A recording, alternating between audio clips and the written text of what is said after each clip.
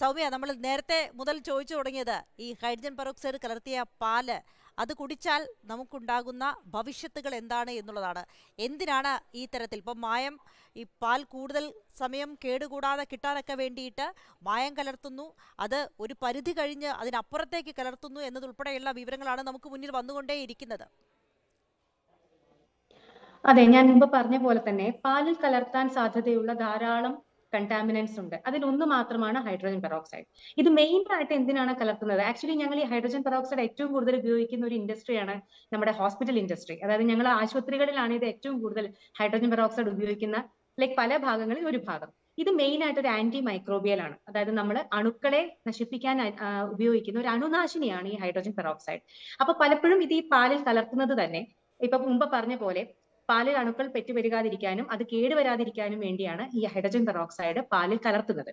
പക്ഷേ at the same time hydrogen peroxide ഒരു ചെറിയ അളവിലാണെങ്കിൽ പോലും നമ്മുടെ ഉള്ളിലേക്ക് പോകാൻ പാടില്ലാത്ത ഒരു പദാർത്ഥം കൂടിയാണ്. കാരണം ഇതൊരു കൊറോസീവ് ആണ്.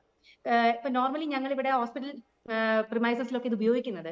ഇപ്പൊ എവിടെയെങ്കിലും ഒരു ബ്ലഡ് അല്ലെങ്കിൽ എന്തെങ്കിലും ഒരു കണ്ടാമിനന്റ് ഉണ്ടെങ്കിൽ ആ ഭാഗം ആ പ്രതലം ഹൈഡ്രജൻ പെറോക്സൈഡ് ഉപയോഗിച്ച് നമ്മൾ ക്ലീൻ ചെയ്യാൻ വേണ്ടിയിട്ട് നമ്മൾ ആ ഒരു ലായനി ഉപയോഗിക്കാറുണ്ട്. അതുപോലെ തന്നെ ഒരു മുറിവ് നമ്മൾ മുറിവൊക്കെ ക്ലീൻ ചെയ്യുന്ന സമയത്ത് ഡീപ്പ് ആയിട്ടുള്ള വൂണ്ടുകൾ ക്ലീൻ ചെയ്യുന്ന സമയത്ത് അതിലെ അണുക്കളെ നശിപ്പിക്കാൻ വേണ്ടിയിട്ട് ആ ക്ലീനിങ്ങിനായിട്ട് ഈ ഹൈഡ്രജൻ പെറോക്സൈഡ് ഉപയോഗിക്കാറുണ്ട്. പക്ഷേ ഒരു കാരണവശാലും ഇത് ഇഞ്ചക്ഷൻ അതായത് നമ്മുടെ വായിലൂടെ നമ്മുടെ അന്നനാളത്തിലേക്കോ ആമാശയത്തിലേക്കോ ഇത് എത്താൻ ഒരു കാരണവശാലും പാടില്ല. കാരണം ഇതിന് ഒരു പെറോക്സൈഡ് ഡാമേജ് ഉണ്ടാക്കാനും അതുപോലെ തന്നെ ഒരു കൊറോഷൻ ഉണ്ടാക്കാനും വളരെയധികം സാധ്യതയുള്ള ഒരു രാസപദാർത്ഥമാണ് ഹൈഡ്രജൻ പെറോക്സൈഡ് അപ്പോൾ നമ്മൾ ഇതിന്റെ ഒരു വലിയൊരു അപകടം എന്ന് പറയുന്നത് നമുക്കറിയുന്ന പോലെ ഈ പാൽ ഏറ്റവും കൂടുതൽ നമ്മൾ ഉപയോഗിക്കുന്നത് രണ്ട് വിഭാഗക്കാരിലാണെന്ന് എനിക്ക് തോന്നുന്നത്. ഒന്ന് കൊച്ചു കുട്ടികളിൽ.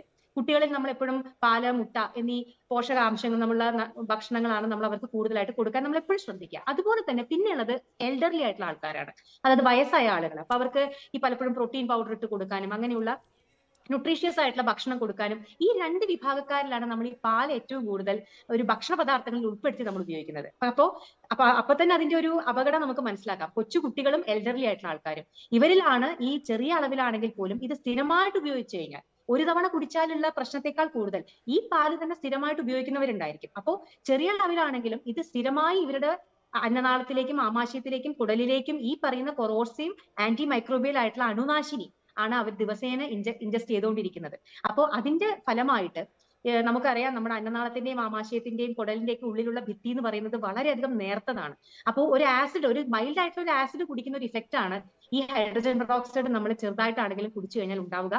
ഇതിന്റെ ഈ ഉള്ളിലുള്ള ഭിത്തികൾക്ക് ഒരു തരം ബേൺസ് അതായത് അത് പൊള്ളുന്ന പോലെ തന്നെ ഒരു അവസ്ഥയാണ് ഉണ്ടാവുക. കുറെ കാലം ഇത് കുടിച്ചു കഴിഞ്ഞു കഴിഞ്ഞാൽ നിർത്താതെയുള്ള വയറിളക്കം ഛർദി അങ്ങനെയുള്ള ബുദ്ധിമുട്ടുകളും അത് കൂടെ കൂടെ കുറെ കഴിയുന്ന സമയത്ത് വലിയൊരു അപകടത്തിലേക്ക് ഈ പറയുന്ന കുട്ടികളും ഈ മുതിർന്ന ആളുകളും പോകാനുള്ള ഒരു സാധ്യത വളരെ കൂടുതലാണ്. അപ്പോ ഹൈഡ്രജൻ പെറോക്സൈഡ് എന്ന് പറയുന്നത് ഒരു കാരണവശാലും അത് പാലിലെന്നല്ല ഒന്നിലും കണ്ടാമിനന്റ് ആയിട്ട് നമുക്ക് അക്സെപ്റ്റ് ചെയ്യാൻ പറ്റാത്ത ഒരു രാസപദാർത്ഥമാണ്.